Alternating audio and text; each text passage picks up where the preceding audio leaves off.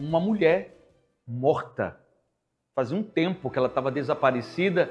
Os vizinhos sentiram a falta dela na rua e aí sentiram um cheiro muito forte vindo da casa. Então chamaram a polícia para averiguar o que estava acontecendo.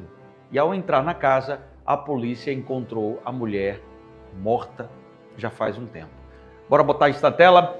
Mulher é encontrada morta dentro de casa na cidade de Pesqueira.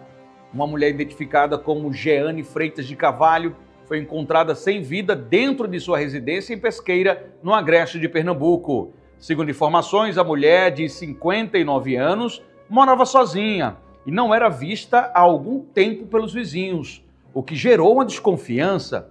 Um odor vindo de dentro do imóvel muito forte fez com que a polícia fosse acionada. A PM foi ao local e encontrou o corpo de Jeane sobre a cama, coberto por um lençol. E foi feita a perícia, né? a Polícia Civil realizou os procedimentos iniciais e o corpo foi encaminhado ao IML de Caruaru para que a causa da morte seja apurada. O caso segue sob investigações. As informações são da Nova Líder FM.